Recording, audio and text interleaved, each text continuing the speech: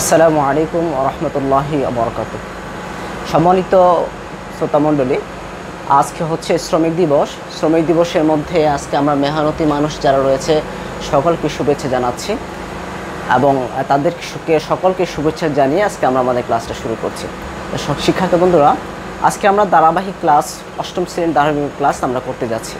গত পর্বে আমরা যে অংশটা করেছিলাম, আজকে আমরা নতুনভাবে তোমাদেরকে নতুনভাবে নতুন পাঠ করানোর চেষ্টা করছি। চলো আমরা শুরু করি। গত পর্বে আমরা শুরু করেছিলাম চার দশমিকের সরল অঙ্ক এবং বর্গ নির্ণয়ের অঙ্কটা করেছিলাম। আজ তোমাদেরকে আমরা শিখাবো সূত্রের সাহায্যে কীভাবে গুণফল নির্ণয় করতে হয়। সূত্রের সাহায্যে কীভাবে গুণফল নির্ণয় করতে হয়।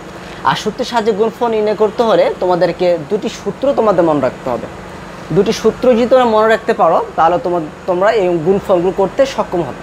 দুটি সূত্র হচ্ছে আমি তোমাদের লিখে দিয়েছি। প্রথম হচ্ছে এ স্কোয়ার মানে B square equal A plus B into A minus B পরবর্তীতে রয়েছে X plus A into X plus B equal square প্লাসের A plus B into X plus A B এই দুটো, দুইটা সূত্রের মাধ্যমে আমরা এই অঙ্কটা এগুলো করব। তো চলো আমরা শুরু করি।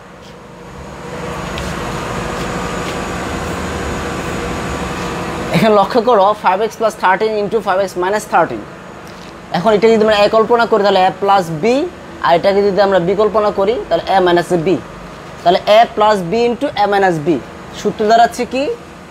A plus B into A minus B এটাকে আমরা লিখতে পারি A square minus B square so আমরা লিখতে পারি square minus A B square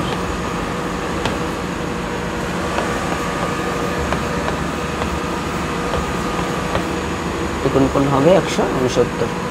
অর্থাৎ, এটাকে আমরা সরাসরি যদি সূত্রে নিয়ে যাই তার এক্স স্কোয়ার মাইনাসের বি স্কোয়ার এখন পাঁচ পাঁচা পঁচিশ এক্স স্কোয়ার মাইনাসের ওয়ান হান্ড্রেড সিক্সটি নাইন। অর্থাৎ আমাদের রেজাল্ট দাঁড়িয়ে, দাঁড়াচ্ছে কি? টোয়েন্টি ফাইভ স্কোয়ার মাইনাসের ওয়ান হান্ড্রেড সিক্সটি নাইন। এটা হচ্ছে তোমার সূত্রের সাহায্যে বর্গফল নির্ণয়। সিম্পলিভাবে আমি তোমাদেরকে প্রথম অঙ্কটা দেখালাম। এখন আমি তোমাদেরকে আরও কয়েকটা অঙ্ক দেখেছি, তাহলে তোমাদের ক্লিয়ার হয়ে যাবে। চলো আমরা আর কয়েকটা তোমাদের সুবিধার জন্য আমি আরেকটি অঙ্ক ব্ল্যাকবোর্ডে তুলেছি। এখন তোমাদেরকে আমি দেখাচ্ছি কীভাবে এই সমাধানটা তোমরা সহজে সূত্রের সাহায্যে করতে পারবে। সেম আমরা আগে যে অঙ্কটা করেছিলাম, সেভাবে আমরা এটা করব।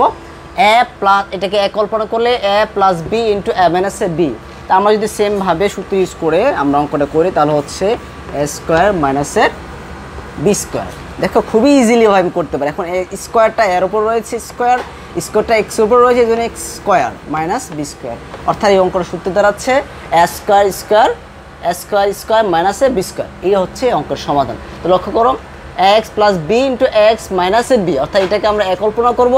আবার এটাকে আমরা বি কল্পনা করব। অর্থাৎ এটা এ আর এটাকে বি কল্পনা করব। তাহলে A plus B into A মাইনাসে বি সূত্র দাঁড়াচ্ছে A plus B into M B যদি এটাকে আমরা এটা কল্পনা করি, তাহলে আর লিখব আমরা A square minus B square এই জন্য আমরা লিখেছি এ স্কোয়ার এ স্কোয়ার অর্থাৎ whole square X whole square বলতে পারি আমরা এক্স হোল স্কোয়ার মাইনাসের বি স্কোয়ার সো এটাকে যদি আমরা স্কোয়ার হিসেবে ধরি এ স্কোয়ার আর এটাকে এখানে স্কোয়ার আসে, তাহলে এটা এক্স স্কোয়ার সো আনসার হচ্ছে এক্স স্কোয়ার এক্স স্কোয়ার মাইনাসের বি স্কোয়ার এ হচ্ছে সিম্পল দুটো অঙ্ক।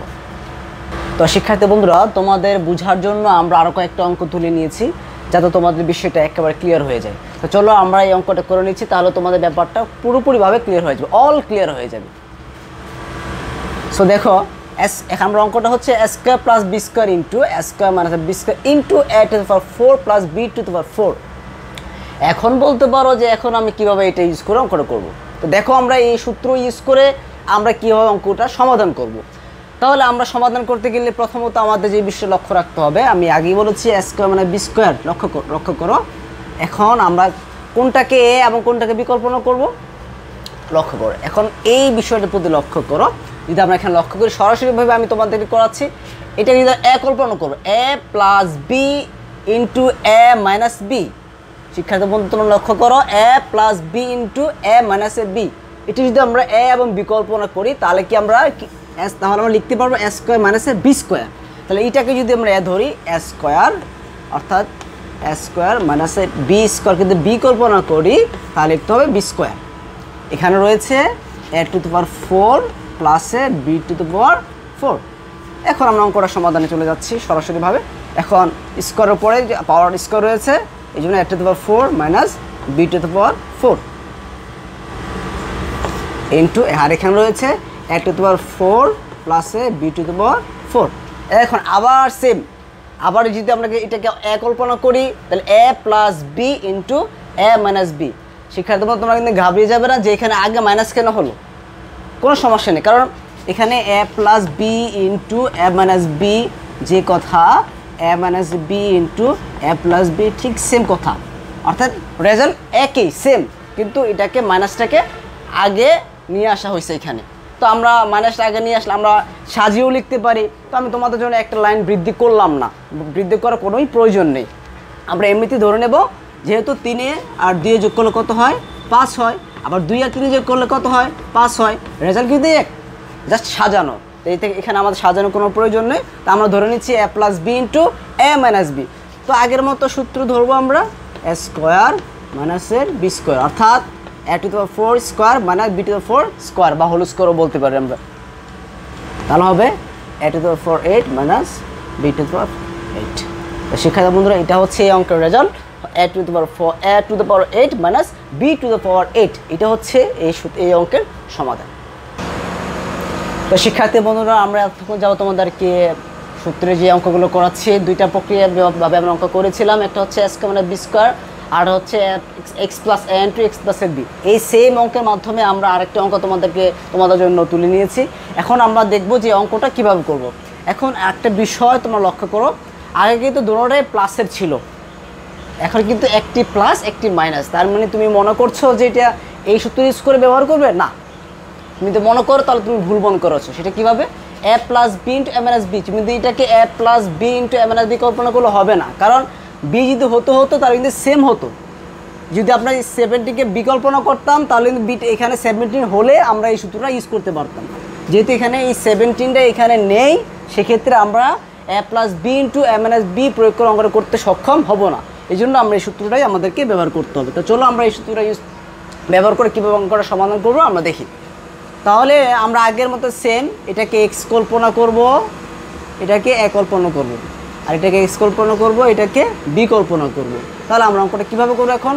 সূত্রটা লক্ষ্য করো, আমি লিখে দিয়েছি এক্স স্কোয়ার এক্স স্কোয়ার বলতে এখানে সিক্স এক্স স্কোয়ার প্লাসে রয়েছে এ প্লাস বি এ বলতে কি বুঝব আমরা? সেভেন্টিন প্লাস বি শিক্ষার্থী বন্ধু, এখন তোমার লক্ষ্য রাখো। এখানে তোমাদের বোঝার বিষয় রয়েছে। সেটা কি? এখানে রয়েছে কিন্তু এ প্লাস বি সূত্রটা কিন্তু রয়েছে এ প্লাস বি এখন আমি থার্টিনকে কিন্তু বলেছি বি কল্পনা করব। অর্থাৎ শুধু থার্টিনকে বি নয় মাইনাস থার্টিনকে কিন্তু আমাকে বিকল্পনা করতে হবে। অর্থাৎ মাইনাস থার্টিনকে আমাকে কী কল্পনা করতে হবে? বিকল্পনা করতে হবে। এই জন্য আমি কী রাখব? এ প্লাস বি রাখতে হলে আমাকে মাইনাস দিয়ে তারপরে এটাকে বি বানিয়ে নিতে হবে। তাহলে আমরা একটা সেকেন্ড ব্রেকের ইউজ করব। তাহলে এটা হচ্ছে মাইনাস থার্টিনটাকেই আমরা কী ধরতে হবে? বিকল্পনা করতে হবে। কেন? যেহেতু আমাদের সূত্রের মধ্যে মাইনাস নেন রয়েছে প্লাস এদের সূত্রের সাথে সামঞ্জস্য রাখার জন্য আমরা এখানে প্লাস্টিক রেখেছি এবং মাইনাস থার্টিনকে আমরা বি কল্পনা করেছি। সেক্ষেত্রে আমরা লিখলাম, কি লিখলাম? A plus B A plus B তারপর ইন্টু এক্স ইন্টু এক্স বলতে এখানে রয়েছে সিক্স এক্স রয়েছে প্লাসের এ বি এ বলতে আমরা বুঝব সেভেন্টিন আর বি বলতে বুঝব আমরা মাইনাস থার্টিন মাইনাসে থার্টিন এটা কিন্তু ইন্টু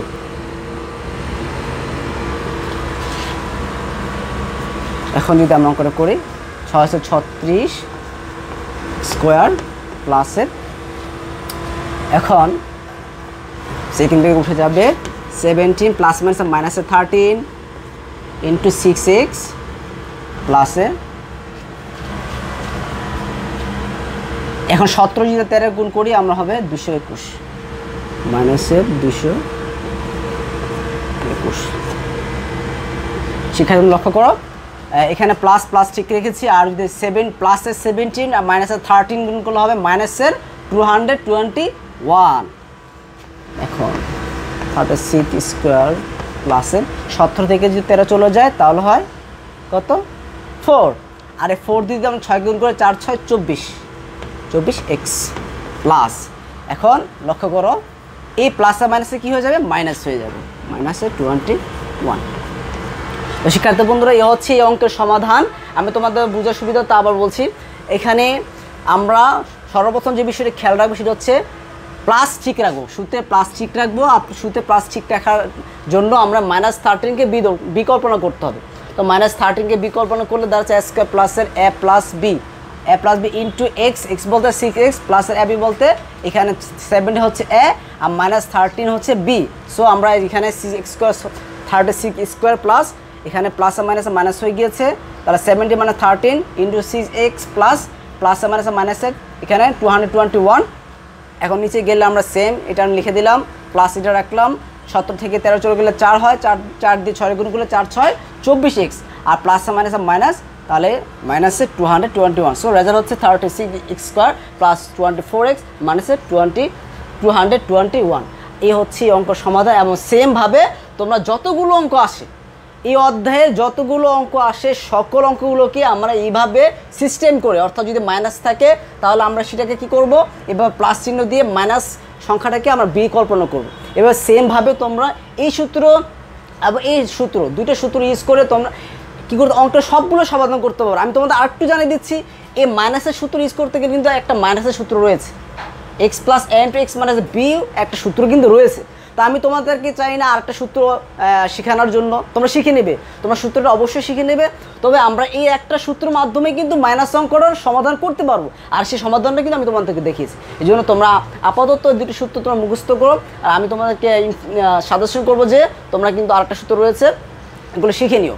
তবে আমি এই সূত্রটা প্রয়োগ করার মাধ্যমে তোমরা অঙ্কটা দেখিয়েছি এবং তোমরা এই দুটি সূত্র ইউজ করার মাধ্যমে তোমরা বাকি সকল সূত্র সাহায্য করব নির্ণয় করতে সক্ষম হবে ইনশাল্লাহ তো আজকে এ পর্যন্ত। পরবর্তী সেশনে তোমার আবার দেখা হবে। সবাই ভালো থাকো, সুস্থ থাকো। আল্লাহ হাফেজ। আসসালামু আলাইকুম রহমতুল্লাহ আবরকাত